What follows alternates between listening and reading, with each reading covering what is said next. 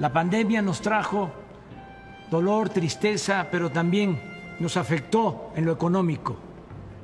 Ya estamos levantando la economía popular porque estamos aplicando un modelo nuevo.